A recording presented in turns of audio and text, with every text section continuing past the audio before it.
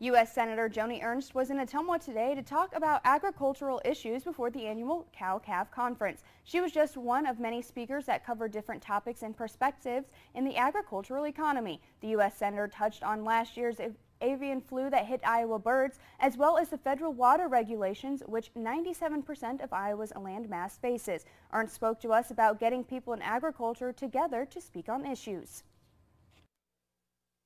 everybody together to talk about the, the issues that are important to agriculture. And of course, I come from a strong ag background and serve on the United States Senate Agricultural Committee. So I'd love to get the feedback and hear what's going on um, out here in Iowa. It's wonderful. So great conference.